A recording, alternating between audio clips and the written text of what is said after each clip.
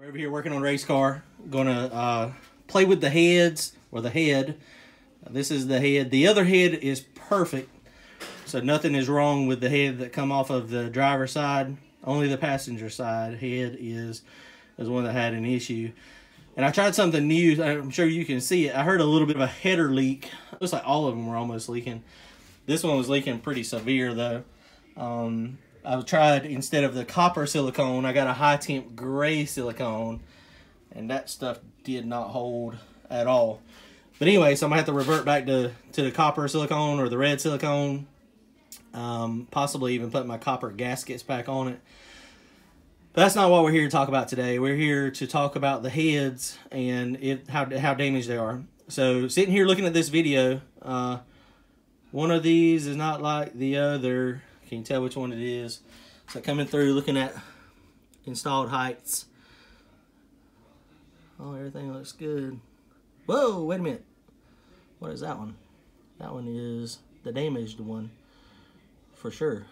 All the other ones, they look pretty good. And you can see the, the different the different heights on how much valve stem is sticking up. These valve stems just, uh, the locks are down a little bit further uh, than these over here. So these get really close to the rocker, um, but it's just the way that that valve is designed. I, mean, I guess I could put a lash cap on it. And you see the valve, the, the installed height is, it looks a little different. That one's obviously different. But um, the intake looks like it's pushed up a little bit. And the reason why is where that lock. Um, now I could get a 50 thousandths reduced lock too and push that down but I didn't do that. Um, so I mean the valve the valve heights themselves are the same, but it's an optical illusion. The retainer is actually pushed up some. So and you can see the exhaust has got got more uh, exposed. But the installed height on these is two inches, I think. That's two two inches or either two oh fifty. I think it's two inches. Um, so they're all at two inches. So all that means is the intake ones that are, are pushed up a little bit taller, they got more shims on them under the bottom. So this one right here is a problem. Um, let's see if we can figure out what's going on with it.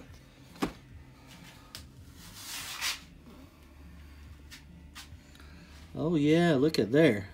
She is bent. Um, so all the other valves look good. This is the only only cylinder. This is the one that, that blew up.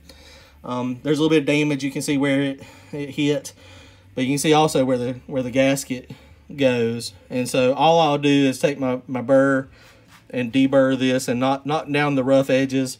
Just smooth it out some best I can. Um, I don't I don't the heads might need to be resurfaced. I probably will go ahead and get them resurfaced just to make sure they're nice and, and clean. So, um, but it should be, uh, it should not be an issue. Um, just replacing this one exhaust valve I'm gonna show you how to take the, the valve out, take the springs off real fast. So we can see this one is the only one that's damaged. Um, all the other ones are, are in good shape. Um, you can see that methanol is pretty rough on some of these um, these chambers. That's why we run top lube. But um, so I'm gonna flip this head over real fast. So it's pretty easy to do. Just um, try to get everything so it's on a fairly decently smooth, clean surface, just so you don't have to worry about you know, damaging the, the surface of the head much. Um, but overall, I mean, this is pretty doggone simple to do. Um, so this is the one that's lower here. So this is the tool that we use. You can buy these off of Amazon or Summit or Jegs. This is the best thing since sliced bread. It has a uh, um, 7 16ths on one end and 3 eighths up on the other end you can reverse it. So if you have, um, depending on your stud. So I don't have studs in this one, so I had to get a, a stud out of another head. So this thing is pretty simple. Um, it just screws down in there, and then the tool screws down on the stud, and it locks in place. These are uh, PAC 1226 springs. So I think they got like 350, 375 pounds on the seat. I think they're set up about 350. So that's a lot of spring pressure. So one of the things you want to do, you always want to make sure before you take these off, take a socket that just, you know, is bigger than the, the stem and the lock and just smack it a couple good times. Um, and all that does is just simply, it loosens the lock a little bit so you can pop it off. It, it doesn't take a lot. You, mean, sometimes you have to smack it a, a decent amount, but it just depends. So this thing just simply screws on down there. And there we go. And so then you can make this however you want it. It really is as, just as simple as, as this. And this thing should pop right off. Hold the head, make it nice and secure. Pull. And it will pop right down most times. You heard the lock release.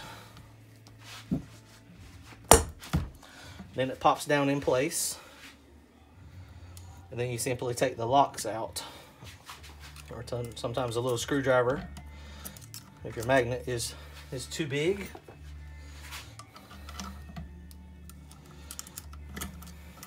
And it just grabs it just like that. And so now I got my two locks and then you just carefully push up on it. And now this thing is apart just that easy. That one. A lot of, I mean, you're going to pay machine shops to do this a lot, but there again, like I said, I try to do a lot of my work ahead of time so I can, you know, help my machine shop guy out. So he is not um, have to do quite as much to mine. Um, it just speeds the process up for mine since I can do some. Um, all right, so looking at the spring, I mean, this is just a, a dual spring, so there's nothing wrong with the spring. Locks are good. So of course we know the valve is, is bad. So we'll pop that out. Luckily it's coming right out. I'm not having to bang it out. So that just means that it, it bent right there on the on the edge. And see, she is nice and bent. So depending on what this the surface looks like, uh, it's going to need another valve job. So Richard is going to see this head as well. Um, and you see the spot. Sometimes you get lucky and it won't damage the, the actual head.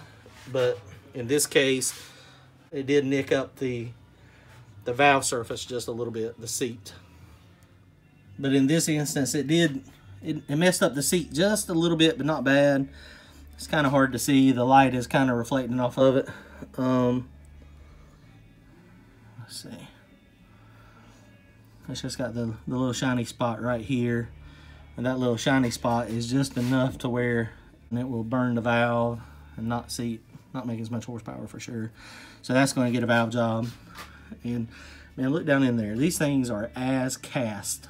Um, profiler heads, uh, 210cc uh, intake runners. I think they're 64 chambers. But this is a, a nice set of heads, and it has it's been pretty doggone fast. So I'm very impressed with the with the heads. So this is a valve that came out of the heads um, a while back when I had a blow up. But this is what I was talking about a minute ago. You can see the height difference of where the lock is, the stem height. Um, the, the valve I just took out is much taller. It's kind of hard to, to see it. It's a couple hundred thousand, so. We'll get Richard to do these heads, get these, um, this one cleaned up.